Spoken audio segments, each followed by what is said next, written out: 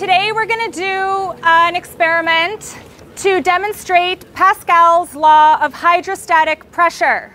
So here we've got a 50 liter glass jug of water. I'm going to try to break this using just this amount of water. Who is a little bit skeptical? Oh, there, I know there's some skeptics in the crowd. Okay. How many people here believe that this is going, like really believe that this is going to work? We have faith in physics. Let's see who wins, Katerina or the barrel? But wait, how did such a small amount of water break such a large barrel? Let's go back to the beginning to understand this. So, what is hydrostatic pressure? You know how when you dive into a swimming pool or in the ocean and you go deep and you feel pressure in your ears pushing your eardrums?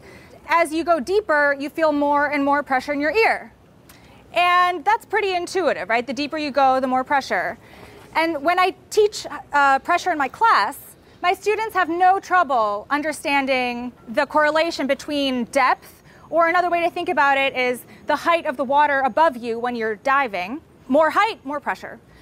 But what they do have trouble really understanding and grasping and believing is that the height is the only thing that affects the pressure.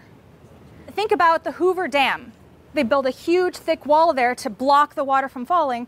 That's not because Lake Mead behind it has so much water in it, which is pushing with a huge mass of water.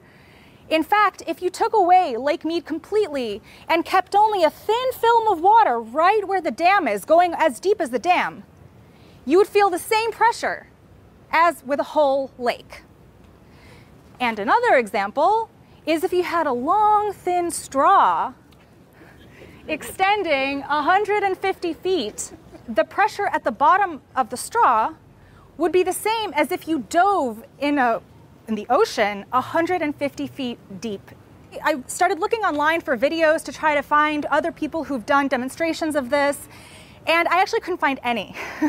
and then I tried to look up how Pascal himself, who's the guy who thought about this experiment, Blaise Pascal, in, uh, in 1646, he came up with these laws.